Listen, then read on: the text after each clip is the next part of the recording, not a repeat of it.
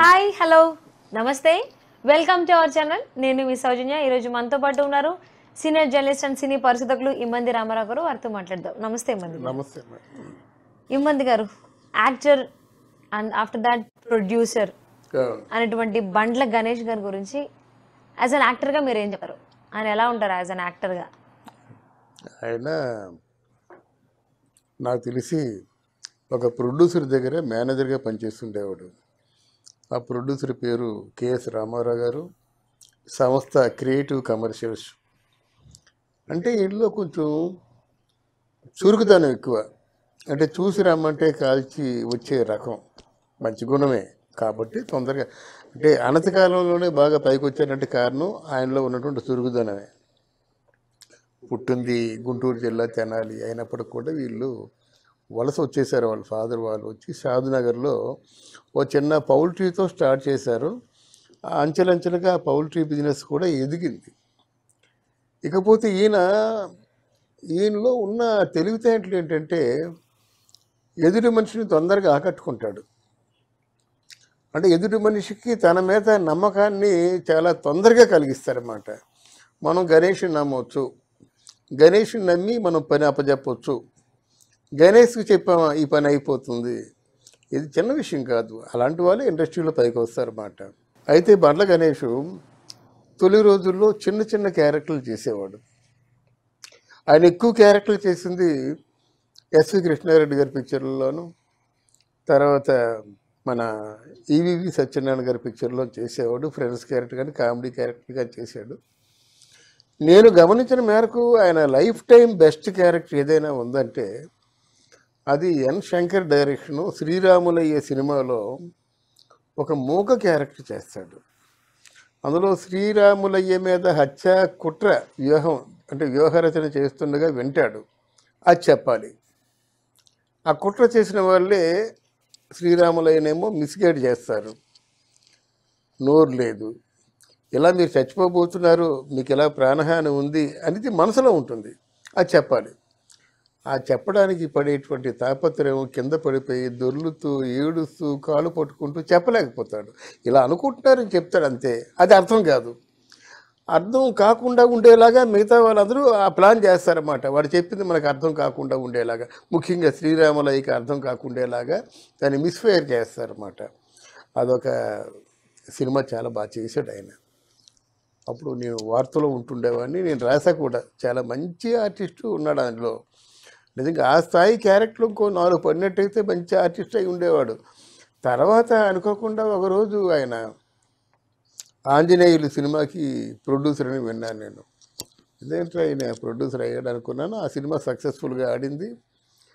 తర్వాత భారీ సినిమాలు తీయడం మొదలుపెట్టాడు.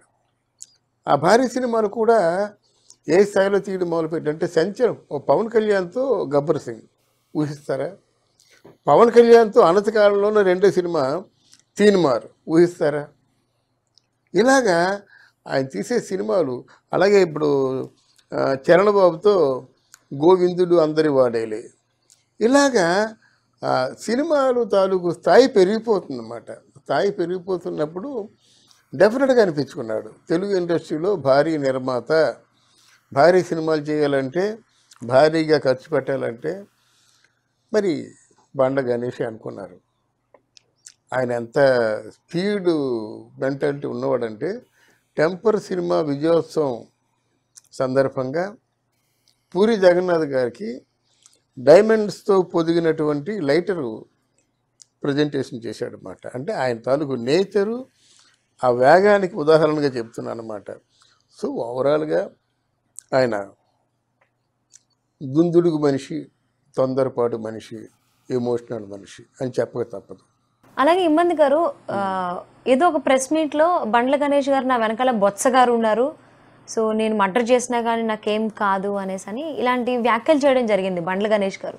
సో ఆయన అంత పబ్లిక్గా అలా మాటలు మాట్లాడాల్సిన అవసరం ఏమొచ్చింది ఇప్పుడు అనుకున్నాం కదమ్మా ఆయన చాలా వేగం దుందురు స్వభావం తొందరపాటు మనిషి ఎమోషనల్ అని చెప్పేసి. అది తీన్మారు ఏదో ఫంక్షన్ ప్రీ రిలీ ప్రీ రిలీజ్ ఫంక్షన్ ఏదో దానికి బొత్స సత్యనారాయణ వచ్చాడు.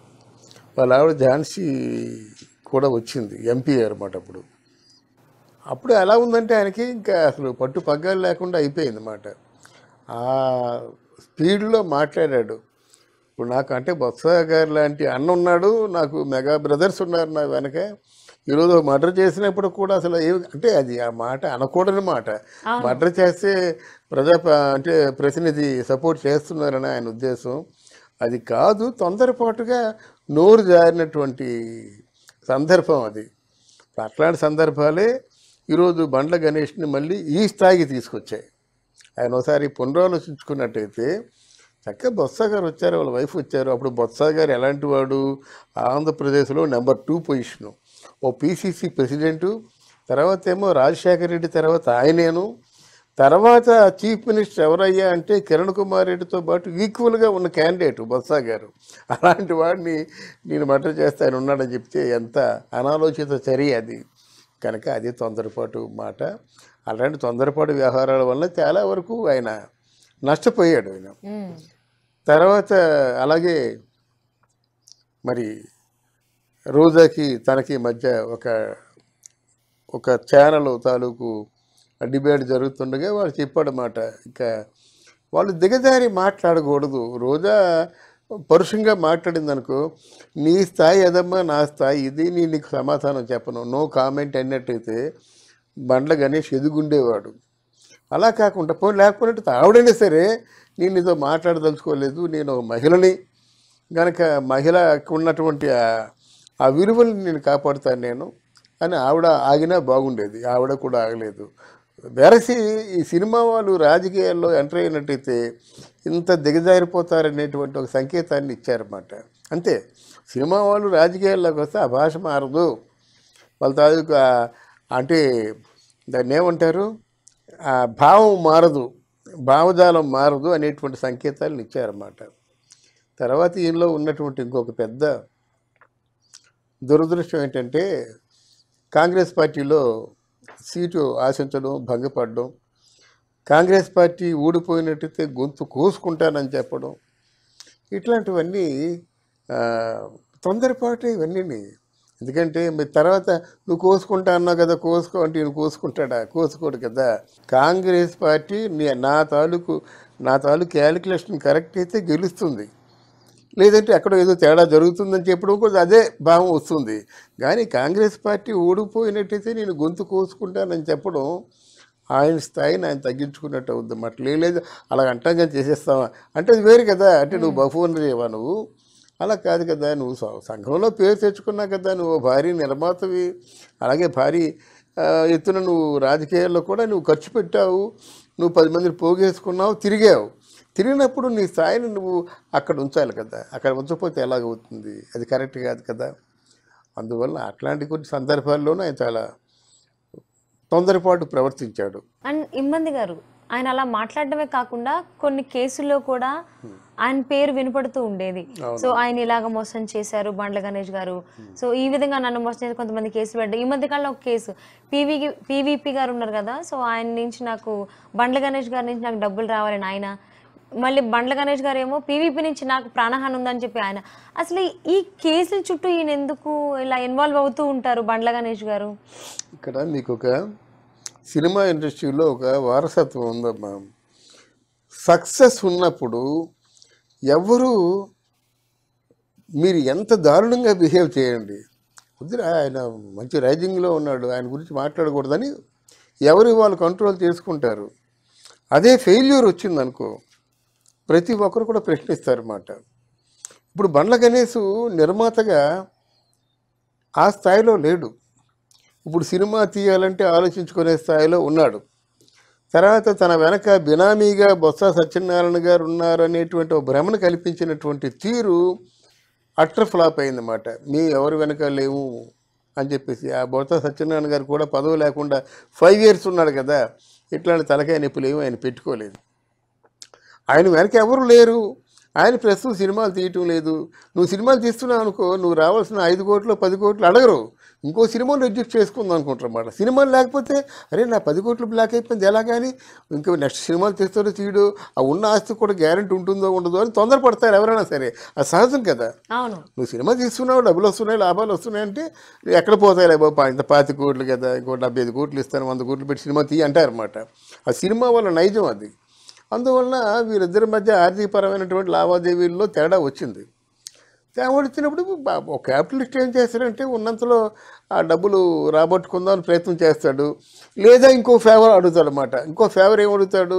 నువ్వు పవన్ కళ్యాణ్ డేట్స్ ఇస్తావా? లేదా చిరంజీవి కాలు పడుకొని చిరంజీవి డేట్స్ తెస్తావా?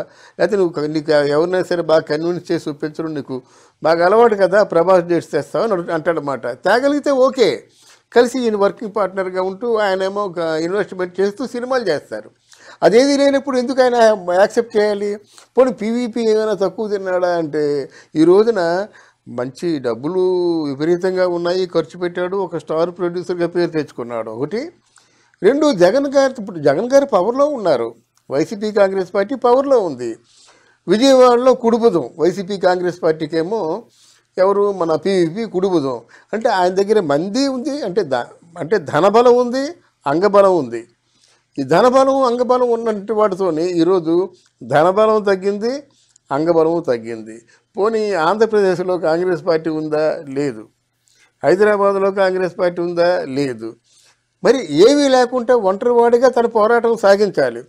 పోరాటంలో దిగిన తర్వాత పది మంది దృష్టిలో పడితే ఏమంటారు? నీకు ఎందుకురా పీఈపీతో గొడవ? అంటారు మన సహజంగాన. లేదు నాకు అన్యాయం జరిగింది నా ప్రాణభయం ఉందంటే గొడవ పడిన తర్వాత ఎవరైనా వాళ్ళకి ఎవరికొకరికి ప్రాణభయం ఉంటుంది. అదే నీ ఎంత చూస్తూ ఉంటారు కదా మరి ఆ వార్నింగ్లో అర్థమైంది ప్రాణభయమే కదా. నీ ఎంత చూస్తాను అంటారన్నమాట కడుపు పడినాడు అంటే ప్రాణభయమే కదా. అలా ఈ అంటాడు నన్ను చూస్తే నువ్వు నిన్ను ఊరుకుంటాను నిన్ను సమూలంగా లేపేస్తాను అంటాడనమాట ఇవన్నీ మాటలే కానీ తర్వాత ఎవరో పెద్ద మనిషి వస్తారు మధ్యలో ఇద్దరిని కాంప్రమైజ్ చేస్తారు. ఆ డబ్బులు వసూలు చేసుకోవడం జరుగుతుంది. అవకాశం ఉన్నంతవరకు ఈయన తక్కువగా ఇవ్వడానికి ప్రయత్నం చేస్తాడు ఆయన ఎక్కువగా రాబట్టు రాబట్టుకోవడానికి ప్రయత్నం చేస్తాడు. వాళ్ళు తిట్లు తిట్టుకుంటారు వదిలేస్తారన్నమాట. అంతే ఇక్కడ జరిగేది పెద్ద లేదు. ఎన్ని పరిష్కారం అయిపోయినా ఇలాగా ముందు ఆ మాట ఈ మాట అనుకోవడం తప్ప అంతకంటే ఇక్కడ మించింది ఏమి లేదు. సో ఓవరాల్గా బండ్ల గణేష్ ఏంటంటే ఆ తొందరపాటు ఆ ఎమోషనల్గా ఉండడం దుందుడుగు స్వభావం ఇవన్నీ అది కరెక్ట్ కాదు. ఎవరితో మాట్లాడినప్పుడు కూడా ఇంకా బూడంత పిల్లడు కదా బూడంత భవిష్యత్తు ఉంది దానికి. ఇంకా అంటే పట్టున యాభై ఏళ్ళు కూడా ఉండవు. కనుక ఇంకెంతో ఫ్యూచర్ ఉంది కనుక జాగ్రత్తగా దూరదృష్టితో ఉంటూ దూరదృష్టితో ఆలోచించుకుంటే బాగుంటుంది. పీపీ లాంటి వ్యక్తులు కూడా ఇప్పుడు ఆయనకి ఇంకా చాలా ఒక ప్రెస్టేజియస్ ప్రొడ్యూసర్ కనుక ఈ వార్తల్లో వ్యక్తి అంటే ఈ గొడవల్లో వ్యక్తిగా పేరు తెచ్చుకోవడం కాకుండా ఆయన చాలా సాఫిస్టికేటెడ్ చాలా దూరంగా ఆలోచిస్తాడు చాలా కామ్ గోయింగ్ అనేటువంటి పేరు తెచ్చుకుంటే ఆయన మంచిదన్నమాట. కనుక అది కాకుండా ఇద్దరు బజార్లో పడినట్టయితే ఇద్దరిని లెక్కేసుకుంటారన్నమాట. ఇప్పుడు ఈయన బండ్ల గణేష్ పీవీపీ స్థాయికి వెళ్ళాడు ఆర్థికంగాన. ఆయన ఈ స్థాయికి వస్తాడు. ఏది బండ్ల పోగా పోగా పోగా బండ్ల గణేష్తో గొడవ ఎందుకురా అంటారన్నమాట. కనుక ఈ సఖ్యతగా ఉన్నంతసేపు అంతా బాగుంటుందమ్మా. గొడవ పడిన తర్వాత ఏంటంటే పెద్దలు ఏమంటారంటే ఎందుకయ్యా ఈ తలకాయ నొప్పి అంటారన్నమాట.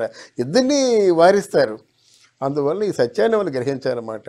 ఆయన మంచి ప్రొడ్యూసరు మంచి క్యాపిటలిస్టు పీవీపీ. ఈయన కొంచెం ఉత్సాహవంతుడు యువకుడు ఇంకా చాలా భవిష్యత్తు ఉంది.